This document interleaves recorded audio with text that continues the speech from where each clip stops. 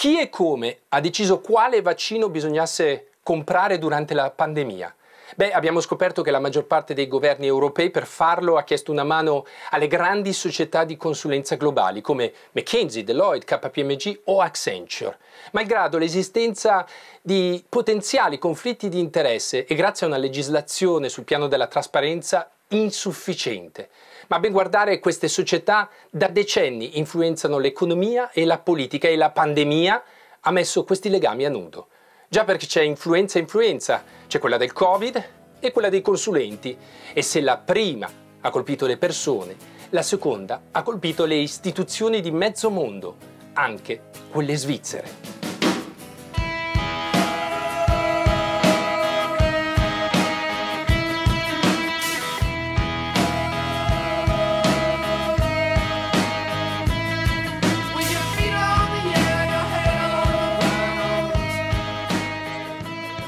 Siamo nel febbraio 2020. L'Organizzazione Mondiale della Sanità non ha ancora dichiarato il Covid-19 emergenza sanitaria globale. Lo farà un mese dopo, l'11 marzo, per bocca del suo direttore Tedros Ghebreyesus. Siamo giunti dunque alla conclusione che il Covid-19 può essere caratterizzato come una pandemia. Eppure molti lo sanno, o almeno lo sospettano da tempo, tanto che a febbraio a Berna si è già creato il gruppo di lavoro per l'approvvigionamento dei vaccini in seno all'Ufficio federale della sanità pubblica. Sul tavolo una lista di 200 candidati vaccini da selezionare. A guidare il gruppo di lavoro di una quindicina di persone Nora Kronig, capo della divisione affari internazionali e rappresentante svizzera all'OMS Europa. Tra gli esperti esterni c'è Thomas Zeltner, ex capo dell'Ufficio federale della sanità pubblica per 18 anni e ora alla guida della fondazione WCO. È Zeltner a invitare nel gruppo di lavoro un altro consulente esterno, Andrin Oswald, ex Novartis, ex direttore responsabile dei partenariati con l'industria farmaceutica per la potente Bill and Melinda Gates Foundation ed ex consulente McKinsey.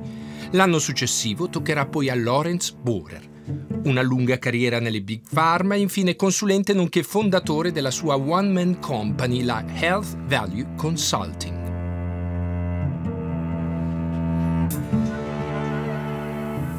Il 19 marzo 2020 il gruppo di lavoro vaccino Covid-19 si riunisce per la prima volta proprio a Berna Liebefeld, nella sede dell'ufficio federale, dove abbiamo appuntamento con Nora Kronik.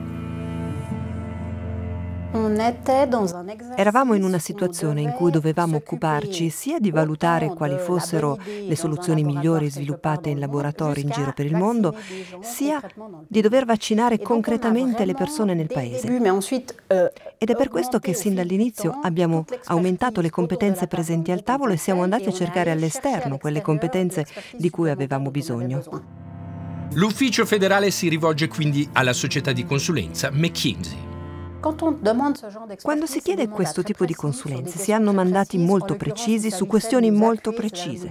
In questo caso si trattava di ottenere un parere supplementare sullo sviluppo di diversi candidati vaccini per decidere quale avrebbe acquistato la Svizzera e come si sarebbe organizzata di conseguenza. Euh, euh, McKinsey offre il suo aiuto pro bono ma l'ufficio federale rifiuta la proposta e concorda una tariffa scontata 535.000 franchi.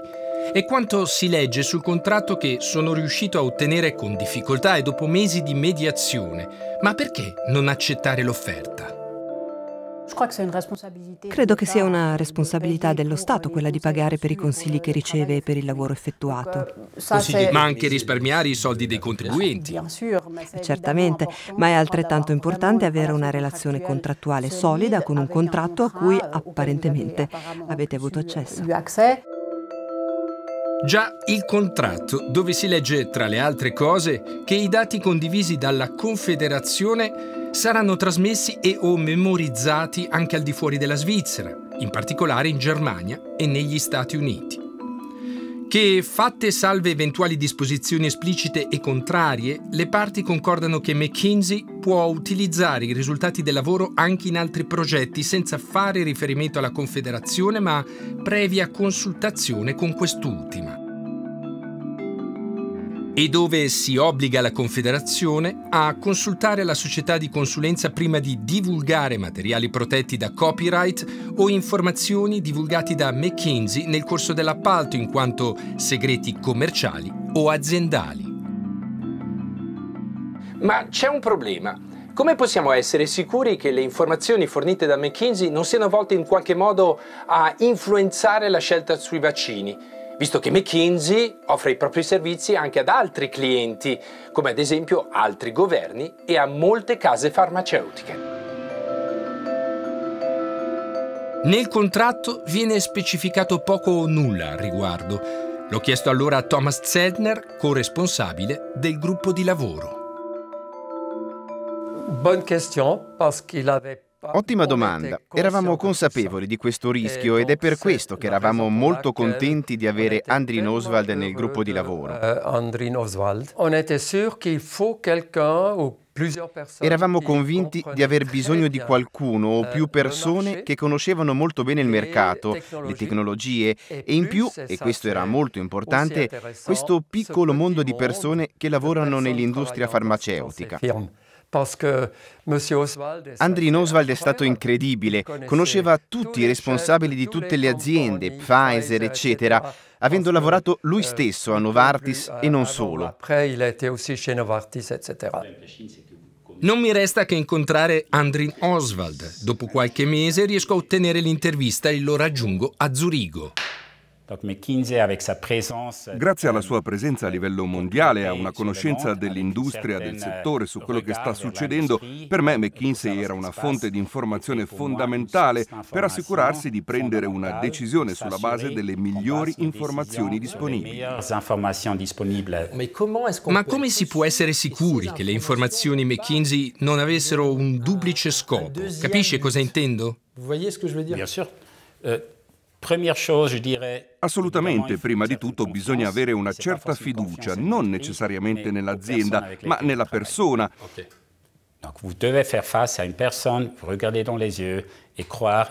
Bisogna insomma guardarla negli occhi e capire se è onesta e se ha lavorato correttamente. Se vous méfiez de ça, il faut pas engager quelqu'un. Quindi è il rapporto umano. Se non c'è questa fiducia non è possibile lavorare insieme. In seguito la seconda cosa, non bisogna fidarsi.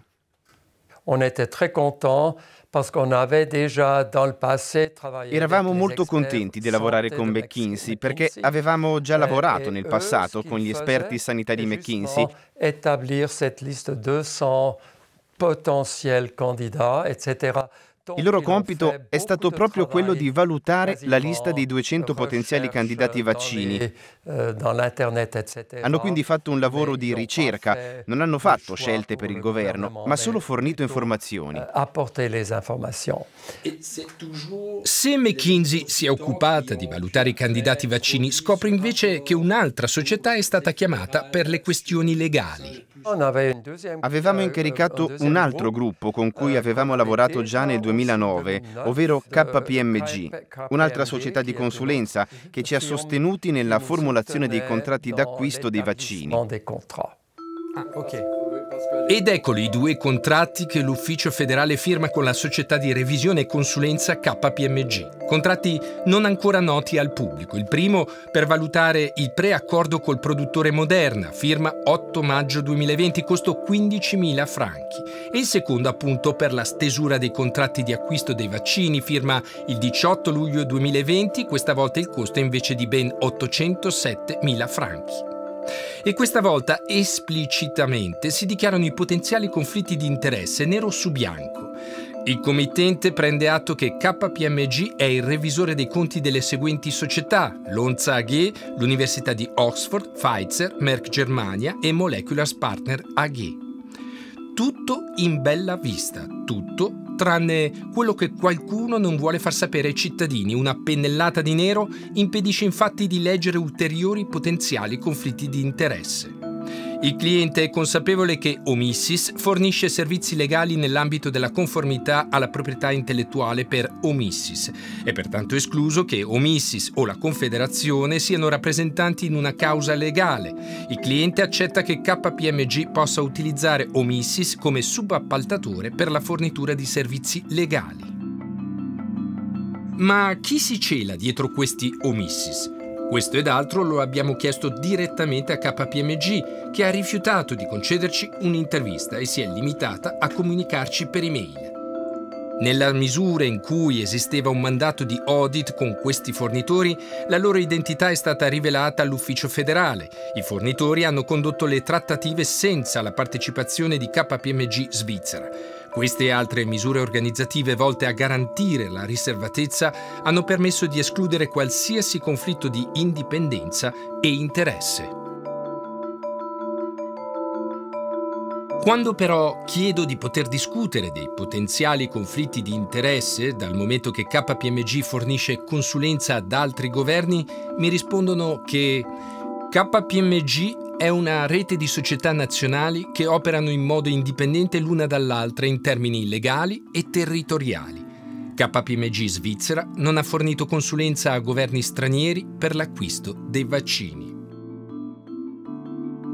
Eppure l'esperto Andrin Oswald, che conosce bene l'industria farmaceutica e il mondo delle società di consulenza, essendo stato lui stesso un consulente McKinsey, non ha dubbi. Per quanto riguarda KPMG era per una questione legale. Abbiamo cercato una competenza specifica per gestire i contratti tra il governo e le imprese, soprattutto nel contesto della pandemia. KPMG aveva già sostenuto dei progetti simili, quindi aveva una competenza esattamente in questo settore. Insomma, KPMG garantisce di lavorare per compartimenti stagni, cioè le filiali nazionali non comunicherebbero fra di loro. Eppure ad ascoltare Andrin Oswald si capisce, si intuisce che sono stati scelti proprio in virtù delle conoscenze internazionali. E ad ascoltare Thomas Zeltner ancora per quanto riguarda McKinsey, beh, si intuisce che i compartimenti non sono sempre così stagni. McKinsey, come le altre società di consulenza globali, hanno avuto contratti con i governi di mezza Europa, quindi lo sapevano che... Certo, ma anche noi lo sapevamo. Anche se con qualche difficoltà sapevamo più o meno quanto pagavano gli altri paesi. Combien les autres pays ont payé. Insomma, sembrerebbe il classico segreto di Pulcinella, custodito da confidenzialità e cosiddetti muri cinesi, ma che all'occorrenza è difficile, se non impossibile, assicurare. Mi chiedo allora, dobbiamo davvero fidarci? Di questo e di altro avrei voluto parlare con McKinsey Svizzera, ma ancora una volta l'intervista ci è stata negata, solo qualche generica risposta per iscritto. McKinsey valuta rigorosamente tutti gli studi prima di intraprendere qualsiasi lavoro nel settore pubblico, anche se appaltato con urgenza. Ciò include verifiche di conflitti di interesse reali o percepiti. E ancora, McKinsey è trasparente con tutti i suoi clienti in merito alle politiche di riservatezza e di conflitto. I clienti di McKinsey sanno che lo studio terrà al sicuro le loro informazioni riservate. Quando poi chiedo di quali verifiche si parla e se fra i propri clienti ci sono produttori di vaccini anti-Covid e perché non vi sia traccia nel contratto di questi legami, la risposta è della serie prendere o lasciare. McKinsey ha affrontato questi argomenti in precedenza e quindi non ha altro da aggiungere in questo momento. A non voler rilasciare alcune interviste, infine, è stato anche il presidente della Confederazione, Monsieur Pandémie Alain Berset, a cui abbiamo rivolto più volte l'invito ad una riflessione su questo fenomeno delle società di consulenza. Ma a rifiutarsi anche un altro membro del gruppo sui vaccini, lo zurighese Lorenz Bohrer. Bohrer lascia il gruppo a novembre 2022 per diventare direttore Novavax Svizzera la società che produce uno dei vaccini acquistati dalla Confederazione otto mesi prima quando Bohrer era ancora nel gruppo. Un caso da manuale di revolving doors o porte girevoli per cui chi prima lavorava nel pubblico passa al privato e viceversa, sollevando però il dubbio che vi siano conflitti che ne impedirebbero il passaggio. E quando chiediamo un'opinione a riguardo a Nora Kronig o Thomas Zeltner, le risposte sfiorano l'imbarazzo. Senta, non risponderò a questa domanda. Écoutez, c'était, oui, Ma sì, però vede, ho lasciato il gruppo che lei sa nel mese di ottobre. e quello che è successo e come è successo con il signor Borer bisognerebbe chiederlo a lui. E ce qui s'est passé et comment ça s'est passé avec monsieur euh, Borer quanto a Novavax, l'azienda mi risponde che Lawrence Borer non può rilasciare alcuna intervista perché soggetto alla riservatezza anche dopo la fine del suo rapporto di lavoro e ha firmato tutti i documenti pertinenti. Quello delle porte girevoli è un meccanismo frequente fra settore pubblico e privato e viceversa, e soprattutto grazie alle società di consulenza che sembrerebbero fare da ponte fra l'uno e l'altro, o addirittura formare, fornire le persone giuste nei posti chiave. Per chi come Lawrence Borer passa dal pubblico al privato c'è chi ha fatto il contrario, come Alexandra Fischer, una lunga esperienza in GlaxoSmithKline, AstraZeneca, Pharma Consulting Group. Da luglio 2022, dopo aver collaborato al gruppo, viene assunta all'ufficio federale. Basta infatti allargare lo sguardo al mondo delle grandi aziende, ma soprattutto delle ex regie federali, per capire meglio il fenomeno. Sono molti gli ex consulenti nei consigli di amministrazione delle aziende, ad esempio nelle banche in primis UBS e Credit Suisse soprattutto, ma anche la cantonale zurighese, quella argoviese, basilese, ginevrina e vodese. Ci sono poi le assicurazioni, Swiss Re e Zurich Insurance, e le multinazionali del calibro di Nestlé, ABB, Lafarge Holcim, Tetra Laval, Chubb, Richemont, che contano diversi ex consulenti nei propri consigli di amministrazione. E c'è anche la Migros. Numerosi ex consulenti sono nella direzione del WEF, il World Economic Forum. Accenture stessa è una dei principali sponsor del forum di Davos. Manca qualcuno? Ovviamente le case farmaceutiche, Roche e Novartis in prima fila. Molti ex consulenti li ritroviamo però anche nelle direzioni delle ex regie federali, ce n'è per ogni gusto, settore, genere o specializzazione. Come le poste, dove il direttore generale Roberto Cirillo è stato direttore associato presso McKinsey, da cui provengono anche il responsabile servizi logistici Johannes Kramer e il capo dell'informazione Wolfgang Eger. Non potevano poi mancare le ferrovie federali. La responsabile passeggeri Veronique Stefan ha lavorato due anni a McKinsey, mentre Johan Decker, il capo dell'informazione, tre in Accenture. Quattro anni in Boston Consulting per Eugen Stermetz, l'attuale responsabile finanziario di Swisscom, così come sono quattro gli anni passati in Bain Company dal suo omologo in Swiss, Markus Binkert. E sempre in Swiss, Christina Förster ha iniziato la sua carriera presso Boston Consulting Group. Alla SRG SSR, l'attuale consigliera Alice Zakfa Kleisli ha lavorato in Boston Consulting Group per quattro anni, ma un ex consulente si trova anche nel consiglio di amministrazione dell'Autorità federale di vigilanza sui mercati finanziari, la FINMA. È Alberto Franceschetti, ex partner McKinsey per dieci anni ed ex consulente Bain Company dal 2003 al 2008. D'altra parte le ex regie federali hanno subito profondi cambiamenti negli ultimi anni e per farli questi cambiamenti hanno chiesto una mano alle società di consulenza e ai consulenti, consulenti che prima o poi, almeno in parte, sono finiti nei consigli di amministrazione delle ex regie federali e hanno portato con sé competenze, relazioni e uno stile manageriale propenso, ça va sans dire, al ricorso a nuove consulenze. Una tendenza che ha contagiato sempre di più il settore pubblico, non solo e non tanto in Svizzera, ma soprattutto in Europa, come mi spiega uno dei principali studiosi del fenomeno, il professor Andrew Sturdy dell'Università di Bristol. And I think one of the reasons behind it is that Credo che una delle ragioni sia che i governi hanno ridotto il numero di dipendenti pubblici e di manager del settore pubblico. Un'altra è che lo status delle competenze manageriali del settore privato e delle società di consulenza è cresciuto. Quindi le persone si rivolgono a loro per ottenere credibilità o legittimità anche se hanno il personale.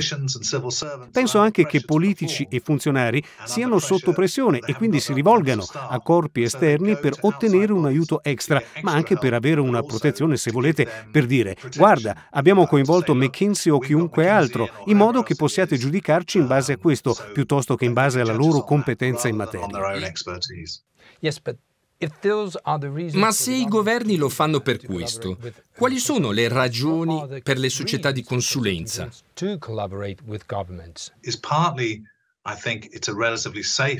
La ragione per cui invece le società di consulenza lavorano sempre di più con il settore pubblico penso sia in parte perché si tratta di un business relativamente sicuro. In altri termini, è sicuro che i governi paghino e, anche nel caso i consulenti sbagliassero, sarebbe nell'interesse di entrambi nascondere che non ha funzionato. Ma lavorare per il settore pubblico significa anche avere la possibilità di influenzare le scelte politiche e quindi se riescono a entrare in contatto con il governo e riescono a influenzare il funzionamento della politica, possono farlo in funzione dei propri interessi. Ad esempio, i servizi finanziari o le aziende farmaceutiche sono grandi clienti delle società di consulenza, che possono quindi influenzare la loro attività nella definizione delle politiche relative a questi settori. E quindi è nel loro interesse lavorare con i governi. I governi sono clienti relativamente inesperti e quindi possono vendere facilmente nuovi business. Per la maggior parte dei casi i governi sono clienti meno sofisticati. Ma quando è iniziato tutto ciò? È cominciato da quando il mercato è il mercato e lo Stato non è più lo Stato.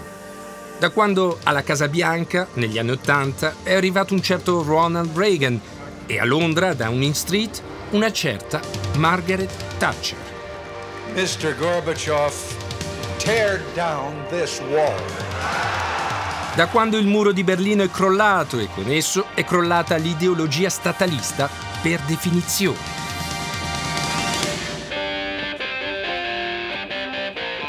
Da quando insomma la mano invisibile del mercato ha trovato la chiave per aprire la stanza dei bottoni e una volta entrata ha privatizzato e ridimensionato il ruolo dello Stato grazie anche ai consigli delle società di consulenza, le quali nel 2031 potrebbero arrivare a 1430 miliardi di fatturato. E così, di fronte alle complessità alle nuove sfide, alle emergenze mondiali come lo è stata la pandemia. E dopo 30 anni di cura dimagrante all'insegna di privato è più efficiente, beh, lo Stato e la politica che è chiamata a guidarlo non può più farne a meno. E le società di consulenza globali sono ovunque e indispensabili, ma nessuno è dato sapere esattamente come operano, a partire dalla più controversa fra tutte, la McKinsey Company.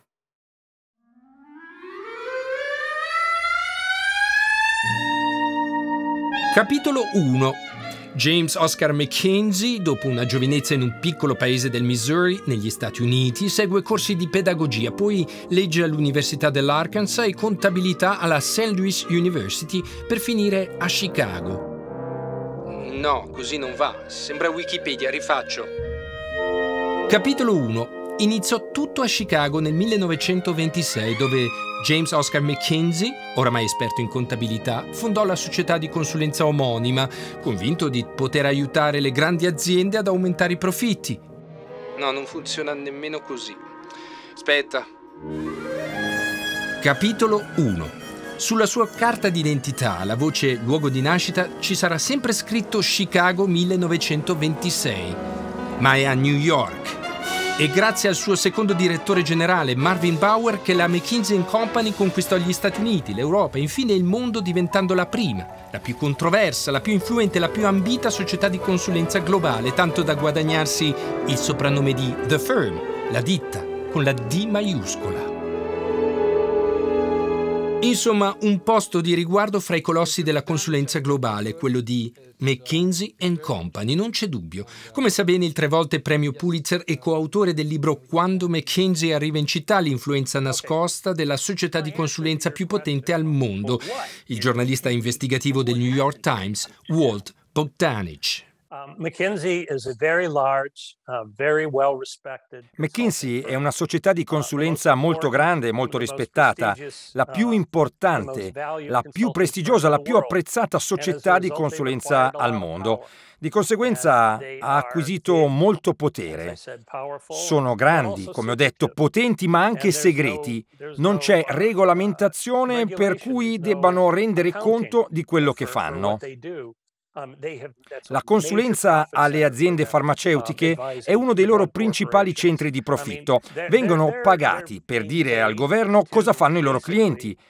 E uh, questo, a mio avviso, è un conflitto di interessi. E credo che le persone normali lo considerino tale. Se devi consigliare il governo sui vaccini, allora non dovresti consigliare i produttori di vaccini, perché non è così che dovrebbe funzionare il sistema. Insomma, una fitta rete di esperti a disposizione dei governi con sempre meno competenze e di fronte a emergenze sempre più complesse. Una sorta di Mr. Wolf, ricordate, che bussa alla porta. Sono il signor Wolf, risolvo problemi. Ah, bene. Ma che una volta entrato in casa non se ne va più. Hanno una presenza simile a un fantasma, ma siedono al tavolo dove vengono prese le decisioni che riguardano i cittadini e la comunità mondiale.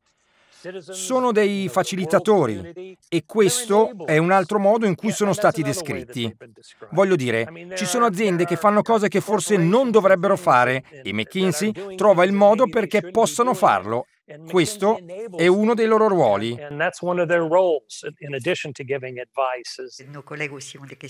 In Francia, una relazione della Commissione d'inchiesta del Senato, 16 marzo 2022, conferma che la spesa pubblica per i contratti di consulenza è più che raddoppiata tra il 2018 e il 2021. Solo nell'ultimo anno il totale stimato arriva a un miliardo di euro.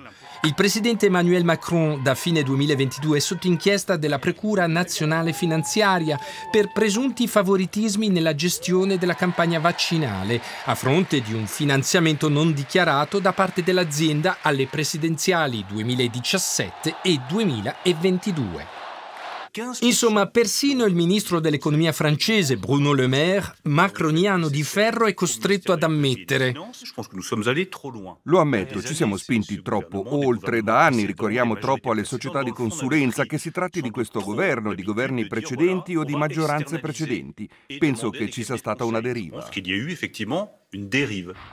Lo scandalo è stato subito ribattezzato consultocrazia dalla stampa, mentre per altri la parola da utilizzare è infiltrazione, da cui il titolo di un'inchiesta scritta a quattro mani da due giornalisti della rivista francese L'Obs, secondo cui quella della collaborazione fra società di consulenza e lo Stato è la storia di un putsch progressivo che dall'interno ha cambiato la Francia. L'esempio più concreto è stato quello della pandemia. Per 18 mesi il Ministero della Salute ha distaccato presso il Ministero e le agenzie pubbliche francesi una cinquantina di consulenti, a volte di più, provenienti da diverse società di consulenza, ma in particolare da McKinsey per gestire le strategie sui vaccini. Pour gérer la stratégie vaccinale. Il y a quelque chose qu'on a découvert Abbiamo scoperto qualcosa di terribilmente inquietante nel modo in cui operano le società di consulenza. Si tratta del loro modo di integrarsi totalmente nelle amministrazioni, cioè di avere email dell'amministrazione pubblica, di avere badge dell'amministrazione pubblica, di non avere sui loro rapporti il logo McKinsey, bensì il logo del ministero per cui lavorano, il Ministero della Salute. E così si finisce per creare una confusione in cui il consulente che è pagato da 4 a 5 volte di più di un dipendente pubblico ricopre il ruolo del funzionario di cui lui stesso aveva suggerito la soppressione vent'anni prima. La Germania non è da meno. Berlino ha speso 430 milioni di euro in consulenze nel 2020, un aumento del 46% rispetto all'anno precedente quando era già scoppiato il Berater Affäre. Milioni di euro in consulenze pagate dal Ministero della Difesa, all'epoca guidato dall'attuale Presidente della Commissione europea Ursula von der Leyen per l'ammodernamento dell'esercito. Le conclusioni di una commissione d'inchiesta parlano di rapporti troppo stretti fra il Ministero e i consulenti, di violazioni da parte di militari e funzionari di primo piano e sottolineano come gran parte del lavoro poteva essere gestito dalla pubblica amministrazione. Domanda, ma non è stata forse la von der Leyen ad aver nominato cinque anni prima Katrin Suder, ex direttrice McKinsey Germania, a segretaria di Stato per gli armamenti? E infine in Italia è il governo Conte 2 ad affidarsi all'inglese PricewaterhouseCoopers per il cosiddetto Piano Nazionale di Ripresa e Resilienza post-pandemia, ovvero un pacchetto di 222 miliardi di euro concordato con l'Unione Europea. Nel 2021 cambio di guardia, questa volta il governo Draghi chiederà a McKinsey di aiutarlo, come si legge nel contratto, per la finalizzazione del Piano Nazionale di Ripresa e Resilienza italiano e dei relativi progetti di riforma e investimento. Costo dell'operazione 30.000 euro, cifra simbolica che il governo decide di pagare dopo che McKinsey si era offerta di farlo pro bono, ancora una volta. Pour un politique, per un politico il ricorso alle società di consulenza è come una droga. Una volta iniziato non può più farne a meno, sia perché è rassicurante, sia perché non ha i mezzi nella sua amministrazione per fare le stesse euh, cose. Quindi offrire questi servizi gratuitamente è come dare ai ministri l'abitudine di euh, ricorrere a società di consulenza. Se hai bisogno di qualcosa te la facciamo subito, molto velocemente, gratis. E il ministro inevitabilmente dirà di sì. E poi, a poco a poco, la consulenza che era gratuita diventa costosa costosa e poi ancora più costosa.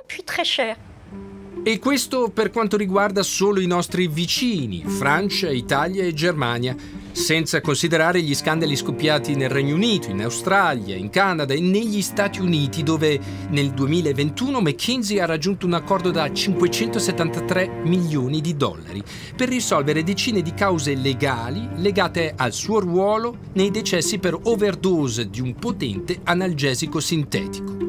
O in Sudafrica dove McKinsey ha preferito pagare 63 milioni di dollari per mettere a tacere accuse di corruzione. McKinsey insomma è la più nota ma non è la sola, insieme a Deloitte, PricewaterhouseCoopers, Ernst Young, Accenture, KPMG, Boston Consulting Group o Bain Company, è presente in tutto il mondo e in ogni settore del mercato, in soccorso a singoli ministeri, interi governi, democrazie e autarchie del calibro di Cina, Russia o Arabia Saudita, ma anche di organismi sovranazionali come la Commissione europea.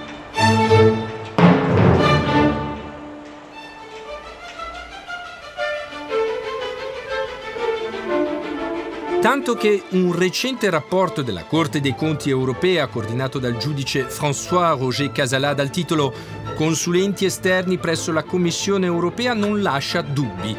Il sottotitolo Una gestione migliorabile che pare un eufemismo.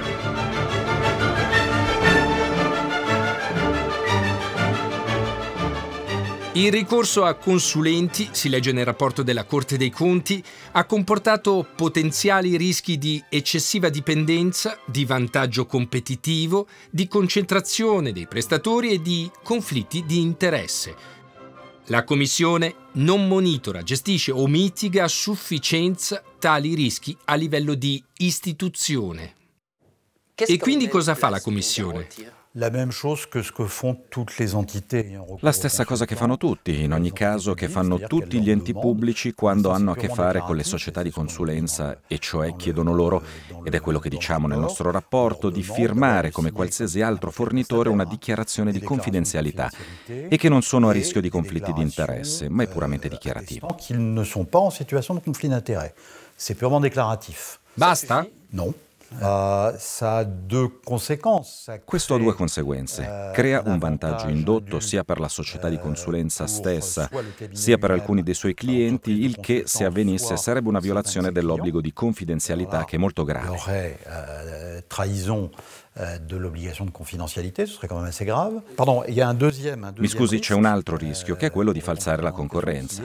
La conséquence de ça, c'est-à-dire fausser la concurrence, tout simplement e rafforzare e rafforzare la dipendenza, la concentrazione, quello che abbiamo scritto nel rapporto. Questo rischio esiste. C'est tout à fait ce que l'on ce que l'on dit dans le rapport que ces risques existent. Il y a un exemple très classique se la Commission, mais elle n'est pas la seule, euh, appelle, fait recours... Per fare un esempio molto classico, quando la Commissione, ma non è la sola, fa appello a dei consulenti per definire il progetto, gli obiettivi, le mansioni, insomma il mandato, talvolta sono gli stessi consulenti che eseguono la prestazione. La prestazione. E parfois c'est le même, ou c'est pas tout à fait le même, euh, o se non sono proprio gli stessi, alla fine sono molto vicini, diciamo così. In l'occurrence, qui se rejoignent de toute manière, parce que vous avez telle petite filiale euh, a redigere il progetto è una filiale e come per miracolo ad eseguirlo ci pensa un'altra filiale. Ecco. Ça tombe, la prestation tombe dans la nacelle de l'autre filiale. Una situazione che l'Unione Europea del Servizio Pubblico, l'EPSU, denuncia da anni e che recentemente lo ha fatto nero su bianco nel suo rapporto Svuotati, la dipendenza dei governi centrali d'Europa e della Commissione Europea dal settore privato. Abbiamo davanti a noi un paradosso che si può riassumere in due parole. Da un lato abbiamo uno sviluppo della precarietà all'interno della funzione pubblica, con un numero sempre maggiore di lavoratori a contratto, molto mal pagati, senza la sicurezza del posto di lavoro. E dall'altro lato un mercenarismo, cioè un gruppo, una minoranza di società di consulenza pagate profumatamente per sostituire, spesso, non sempre, le carenze dei servizi pubblici. Ed è ciò che ha denunciato, ad esempio, la commissione d'inchiesta del Senato in Francia. Le manque à gagner dans les fonctions publiques. Secondo EPSU, solo nel 2019-2020 le società di consulenza globali rappresentavano il 14% del fatturato complessivo delle consulenze esterne in 12 paesi europei. Dal 31% in Grecia al 22% in Danimarca e nel Regno Unito, al 17% in Spagna fino al 9% in Francia e in Germania. Insomma, prima si riduce personale e competenze nei servizi pubblici per renderli meno onerosi e più efficienti, poi però, davanti a emergenze come la pandemia, si chiede una mano agli stessi consulenti che avevano suggerito la riduzione. Lo chiedo al direttore di Accountancy Europe, una delle principali organizzazioni di lobbying della consulenza a Bruxelles. E, a sorpresa... Je suis pas non sono in disaccordo con quanto appena detto, credo che fosse l'ideologia dell'epoca.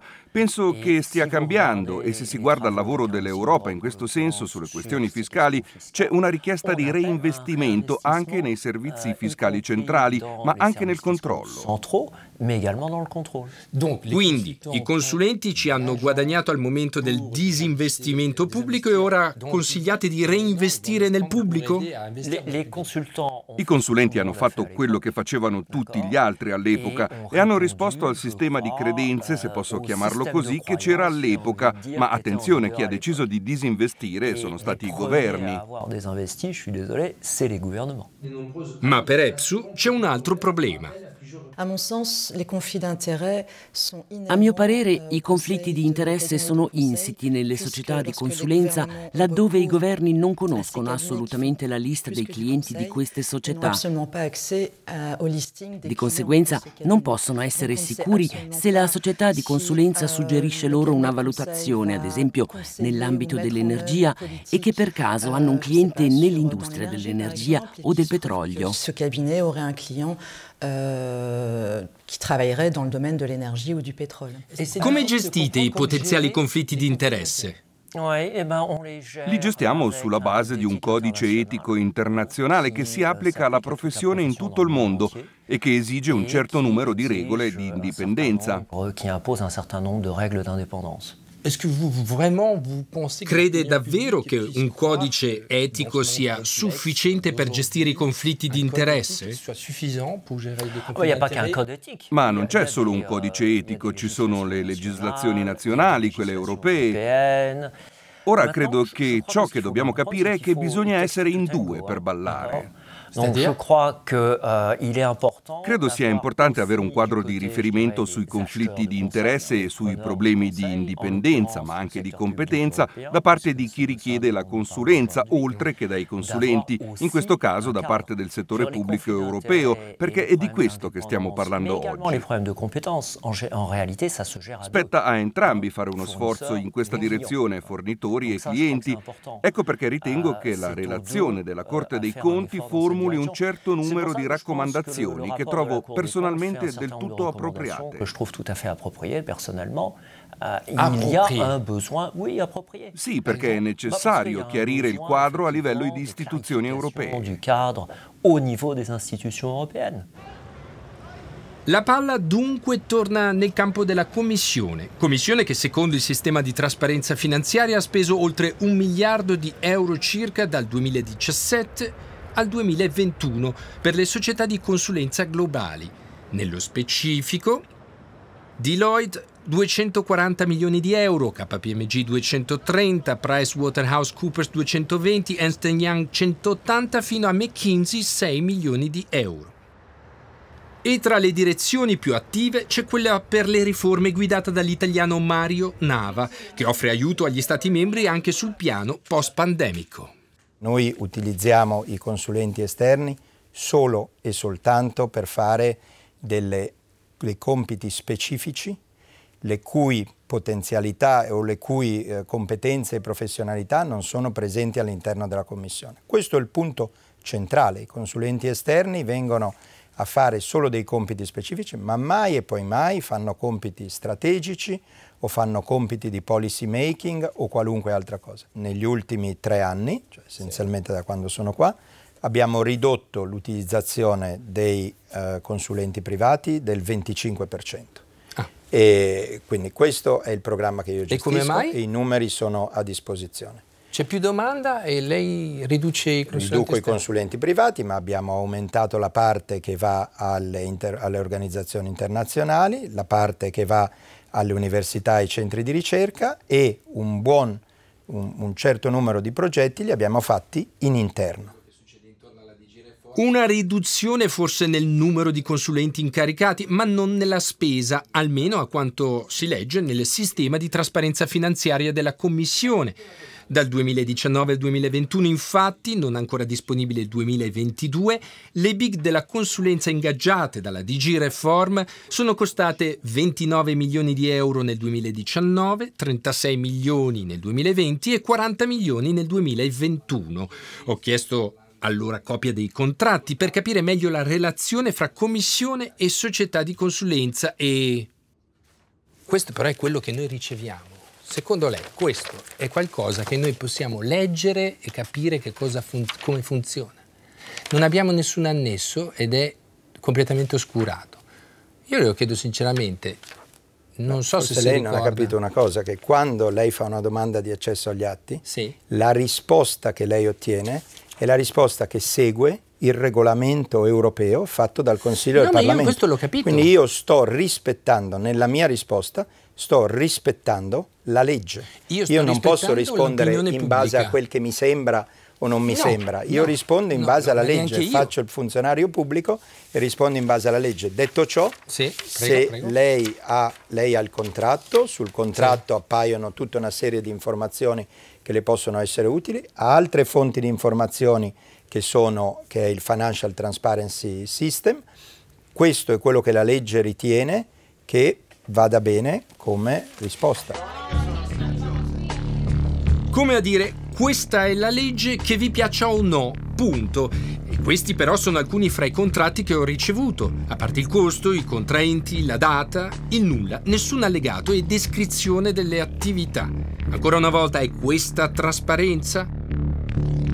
Lo stesso Parlamento europeo non ne è del tutto convinto se tra il 2020 e il 2022 in ben cinque occasioni ha interpellato il commissario europeo per la programmazione finanziaria e il bilancio, l'austriaco Johannes Hahn, secondo il quale tuttavia in poche righe non si registrava alcun problema.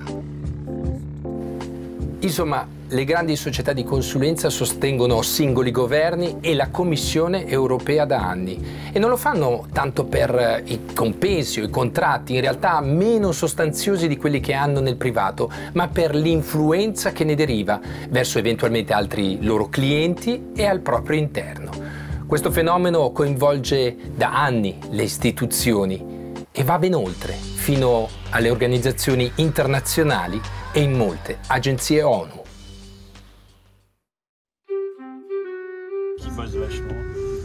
Il 3 febbraio 2022 la direttrice dell'Organizzazione Mondiale del Commercio a Ginevra, Ngozi Okonjo-Iweala, informava con una lettera agli Stati membri di una novità. Abbiamo istituito un'unità di trasformazione e assunto una delle nostre collaboratrici senior, la signora Victoria Donaldson, come responsabile della trasformazione. Lavorerà con il personale per implementare i processi di cambiamento, il tutto con il supporto del team McKinsey. Una lettera di cui sono venuto in possesso e che ha fatto cadere dalla sedia più di un ambasciatore. Il segretariato, ovvero il cuore esecutivo dell'organizzazione, la struttura che aiuta la direttrice nelle sue funzioni, che prepara i documenti e gli eventi per le successive discussioni con gli Stati membri, beh, stava per cambiare e McKinsey avrebbe consigliato come farlo. If I can come in as the DJ and say come direttrice potevo dire dobbiamo fare questo, questo e questo, ma è sempre bene avere un altro parere, un parere professionale su come si sta operando. E così abbiamo aperto una gara seguendo le regole. E McKinsey ha vinto e ci ha aiutato a rivedere la situazione per assicurarci di essere al passo coi tempi nel segretariato. Quanto ha pagato McKinsey per questo studio? Può chiederlo a McKinsey, non è una cosa nascosta, cioè, ma non è usuale.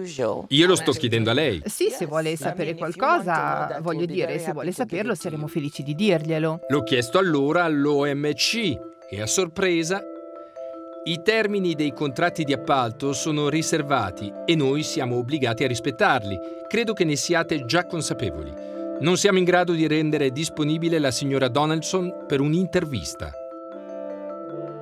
Mentre McKinsey come già detto, è prassi consolidata di McKinsey come consulente di fiducia e spesso un obbligo contrattuale non discutere di ciò che McKinsey fa per i suoi clienti e se McKinsey lavora o non lavora per una società. In compenso, sfogliando il rapporto finanziario dell'OMC 2021, ho trovato una prima parziale indicazione, ma solo per quell'anno. Alla voce consulenze le spese riguardano la diagnosi di revisione strutturale del segretariato dell'OMC 400.000 franchi. Probabilmente McKinsey non dirà nulla, lo sa, ecco perché chiedo un'organizzazione pubblica. Ma perché lo chiede alla direttrice? Perché l'OMC ha ingaggiato McKinsey. Li abbiamo ingaggiati perché hanno fatto un'offerta, non si può bloccare nessuna azienda. Le nostre regole non dicono di impedire a un'azienda di fare offerte. Sono state seguite regole rigorose e hanno vinto. E non capisco perché ci si fissi su di loro. Hanno vinto, hanno fatto il lavoro con competenza e qualsiasi cosa venga fatta è sotto gli occhi di tutti. Ma come spiega il fatto che molti membri non erano contenti quando ha proposto questo piano? Che sono rimasti sorpresi quando ha inviato una lettera sul piano McKinsey? Non è vero che i membri non erano contenti. All'inizio ho dovuto informarli sulla trasformazione. Questo è ciò che stiamo ancora facendo e non è qualcosa che posso fare da sola. Ha condiviso il piano con loro? Ne ho assolutamente parlato al Consiglio generale e può consultare i verbali. Sono stati informati. Ora c'è stato un problema. Alcune persone volevano che il rapporto fosse reso pubblico. Ho risposto che è molto insolito che un rapporto interno a un'organizzazione venga reso pubblico, un rapporto per consentirle di rafforzarsi, che contiene informazioni che potrebbero essere pregiudizievoli per i membri dello staff. Non credo che nessun leader leader lo farebbe. Morale del piano di trasformazione, gli Stati membri dell'OMC, da noi contattati, hanno ricevuto un primo documento solo un anno e mezzo dopo, ma non hanno mai ricevuto lo studio McKinsey. Nel frattempo non sono mancate richieste di chiarimenti, soprattutto per quanto riguarda la terza fase del piano, che includerebbe la definizione dei valori, della visione, della direzione strategica del segretariato e soprattutto di quanta e quale autonomia potrà o dovrà godere il segretariato in futuro. Di questo, purtroppo, si sa poco o nulla. Ma al di là del costo, di quale trasformazione stiamo parlando? E quale impatto potrebbero avere i consulenti su questa organizzazione che detta le regole della globalizzazione, di cui le società di consulenza sono da decenni alfieri fidati? Di questo, ma soprattutto di un'altra organizzazione internazionale, abbiamo cercato delle informazioni e abbiamo parlato con Julian Eckel, professore dell'Università di San Gallo, coautore di un nuovo studio, di un nuovo documento fresco di stampa l'economia politica delle società di consulenza nei processi di riforma, il caso dell'Organizzazione Mondiale della Sanità. A livello molto generale, direi che certamente le società di um, consulenza vogliono espandere i propri mercati. Per loro è un'ottima cosa lavorare sempre di più con le organizzazioni internazionali. E in secondo luogo, l'obiettivo è quello di dimostrare che il loro tipo di conoscenza e il loro modo di fare è rilevante in tutto il mondo e in tutte le situazioni. Quindi è un bene per la loro immagine e per la loro autorevolezza poter dire non forniamo consulenza solo ad aziende, ma anche a organizzazioni internazionali e governi. Tra il 2019 e il 2021 l'Organizzazione Mondiale della Sanità ha chiesto aiuto alle principali società di consulenza per diversi milioni, dai 14 milioni di dollari per Boston Consulting Group ai 9 per McKinsey fino ai 100 mila dollari per Accenture, per un totale di quasi 28 milioni di dollari in tre anni. Direi che una criticità fondamentale è il modo in cui le società vengono poste sotto contratto e direi che la concorrenza davvero non funziona. Dipende tutto da reti personali e da persone specifiche che si conoscono tra loro. Una volta che hai lavorato con l'OMS è più probabile che tu ottenga un successivo contratto. Un altro problema menzionato dallo stesso audit esterno della stessa organizzazione è quello dei conflitti di interesse. Ad esempio, una società di consulenza che consiglia sia sia l'industria farmaceutica che l'OMS, quando quest'ultima invece dovrebbe avere un occhio critico su alcune di queste aziende farmaceutiche. Un altro esempio dagli audit esterni degli ultimi anni? L'azienda assisteva l'OMS nell'acquisto di dispositivi di protezione individuale senza la dovuta approvazione, anche se ciò comportava un pagamento di 2,53 milioni di dollari. Il ruolo dell'azienda nell'approvvigionamento costituiva un conflitto di interessi, poiché l'azienda forniva assistenza sia all'OMS sia al fornitore. E ancora, All'inizio della pandemia, il consulente A ha offerto servizi pro bono. Il costo totale dell'incarico era di 7,3 milioni di dollari, di cui il 55% a carico del consulente, il 35% dell'OMS e circa il 10% della fondazione Bill e Melinda Gates. Il coinvolgimento del consulente A nel processo di appalto, in cui l'azienda stessa era un offerente, rappresenta un conflitto di interessi.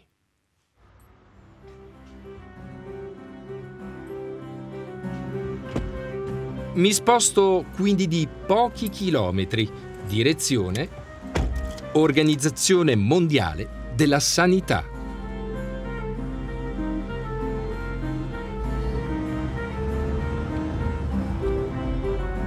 Quello che pochi sanno è che l'OMS può contare su un finanziamento obbligatorio degli Stati membri pari a quello dell'ospedale universitario di Ginevra Eppure è stata la cabina di regia durante la pandemia e dovrebbe garantire la sanità a livello mondiale.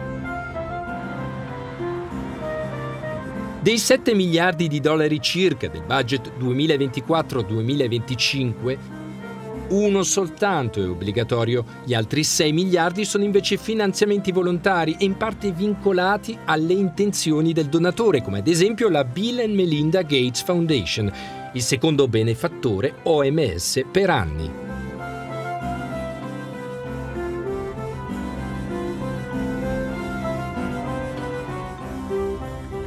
Parola di Nicoletta Dentico, direttrice del programma di salute globale per la Society for International Development.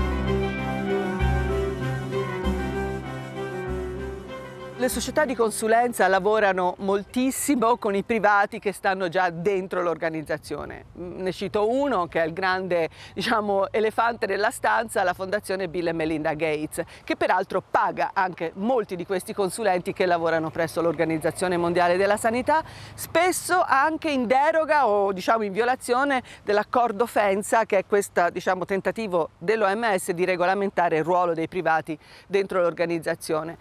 I conflitti di interesse interessi eh, sono a vari livelli, appunto se è un privato che già paga il consulente e non l'organizzazione abbiamo un potenziale conflitto di interesse, ma poi è proprio un web, è una, una rete eh, eh, di eh, relazioni, di eh, diciamo una, una, connessione tra poteri che interagisce tra, eh, tra loro spesso a discapito dell'organizzazione che in un certo senso riceve il pacchetto e non ha altre alternative se non prenderlo, perché poi è l'unico finanziamento alla riforma che gli arriva. La Fondazione Gates ha inoltre finanziato e fondato due organizzazioni private che hanno avuto un ruolo centrale e controverso durante la pandemia, Gavi Alliance e CEPI. CEPI e Gavi sono queste nuove creature nate negli ultimi vent'anni più o meno, Gavi è nata prima di CEPI, che sono partenariati pubblico-privati. Eh, cioè una sorta di ibridazione istituzionale fra pubblico e privato, ma sono legalmente fondazioni di natura privata. Sono finanziati da privati, al loro interno hanno anche alcuni governi, ma hanno prevalentemente il settore farmaceutico, il settore finanziario e eh, li finanzia prevalentemente la fondazione Gates. Ho chiesto a Gavi Alliance un'intervista, ma niente. Una volta anticipato l'argomento, l'iniziale disponibilità è svanita nel nulla. Al suo posto ho ricevuto una dichiarazione per iscritto. Gavi si avvale di consulenti solo quando è assolutamente necessario per fornire consigli e supporto indipendenti e imparziali per aiutare Gavi nella sua missione. I consulenti di gestione non fanno parte del processo decisionale di Gavi. Nella sua esperienza, qual è il ruolo di queste società di consulenza? È un ruolo immenso, è un ruolo eh, grandissimo che non, non, è arrivato adesso, è da anni ormai che eh, non solo dentro l'OMS ma dentro tutta l'ONU, eh, McKinsey in particolare, ha, diciamo, è, è entrata eh, il ruolo è, eh, per la mia esperienza è quella di avere sostanzialmente, eh, come dicevo, riorganizzato la governance, eh, frastagliato ulteriormente e tolto in un certo senso eh, quello spirito collaborativo che dovrebbe essere l'essenza principale del funzionamento di un'entità pubblica per farla invece lavorare secondo eh, il mercato dei finanziamenti per la salute globale e questo è deleterio per l'organizzazione. Nel nostro rapporto abbiamo studiato in dettaglio il caso della riforma del partenariato per la lotta contro la malaria, dove un gruppo di consulenti McKinsey sono stati pagati dalla Fondazione Gates e offerti all'OMS per prendersi cura del processo di riforma. Ma è stato chiaro sin dall'inizio che i consulenti McKinsey erano in rapporti molto stretti con la Fondazione Gates che li pagava, ma anche con una parte di promotori di una riforma, diciamo radicale, che avevano già già un'idea ben precisa su questa riforma. Infine, avrei voluto lasciare l'ultima parola proprio all'OMS, ma l'Organizzazione Mondiale della Sanità ha categoricamente e più volte rifiutato l'intervista. La ragione? Dobbiamo rifiutare poiché le domande non possono essere risolte da una sola persona in quanto riguardano aree diverse.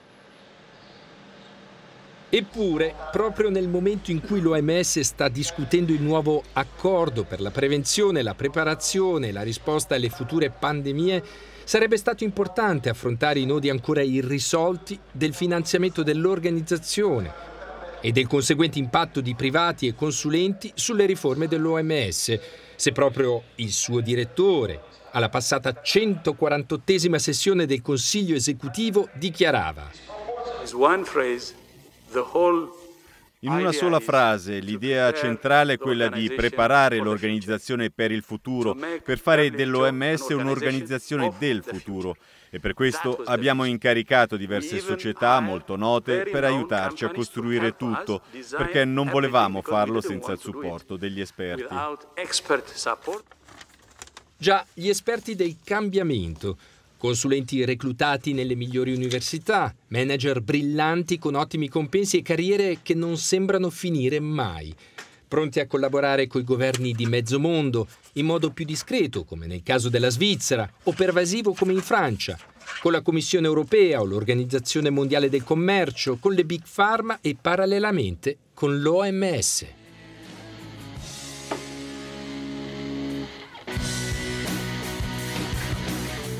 Proprio mentre i conflitti di interesse e l'influenza di cui sono capaci sono lì, dietro l'angolo o dietro un semplice omissis. Nei corridoi delle relazioni coi loro clienti, fra le righe di qualche rapporto nascosti dalle buone intenzioni e miliardi di dollari. Delle società di consulenza globali, insomma, si sa tutto tranne quello che dovremmo sapere. Di chi chiede il loro aiuto, istituzioni pubbliche in primis, sappiamo che non possono più farne a meno. E sullo sfondo i dubbi sollevati fin qui, ancora da sciogliere completamente per sapere una volta per tutte chi e come ha davvero preso una decisione prima, durante e soprattutto dopo la pandemia.